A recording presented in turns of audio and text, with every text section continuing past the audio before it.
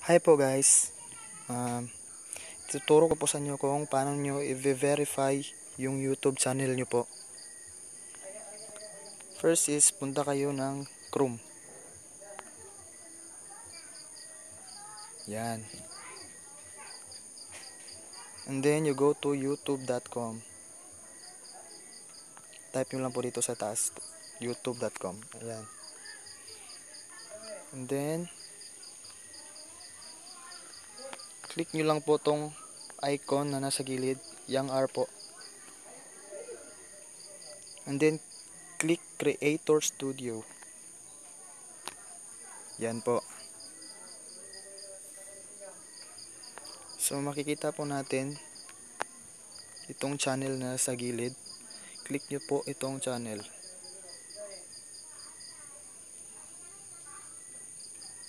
Yan po. And then, click nyo po itong verify.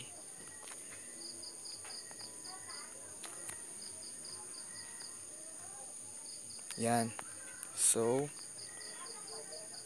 select your country or territory. Yan. So, ang isi-select ko po dito is Philippines. Kasi nasa Pilipinas po tayo. Yan. How should we deliver the verification code to you? Click nyo po itong text me the verification code. Yan. And then, lagay nyo po dito yung cellphone number nyo po.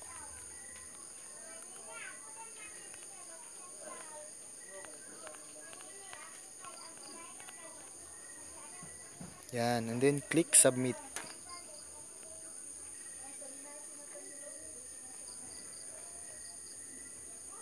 Yan po. And then, enter your 6-digit verification code. Lagay nyo po dito yung verification code.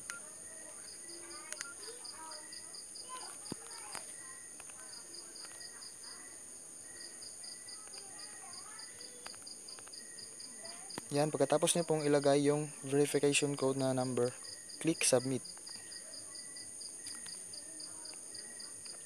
Yan. So, verified na po yung YouTube channel natin. Congratulations, your YouTube account is now verified. Click nyo lang po tong continue.